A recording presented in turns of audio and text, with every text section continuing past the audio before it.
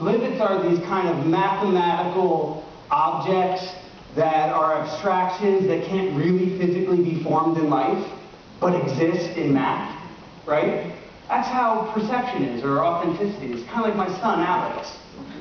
Such a stoic little kid, right?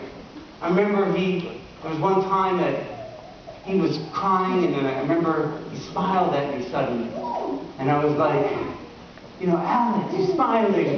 Get the camera, get the camera, honey. I got the camera out, we took the first picture, my wife said, he just shit his pants. Perception, reality. Kind of like a tiger. Like there's tiger stripes, maybe the tigers are a rabbit, right?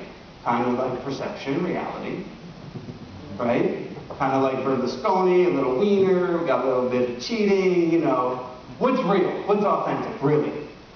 So that's why I've challenged myself to this. So just go with me, and inside of this formula, hopefully you'll be able to extrapolate some of the philosophy, some of the benchmark ideas, be able to measure ourselves as a best practice if we're doing our job well or not. Not just our job, but in life.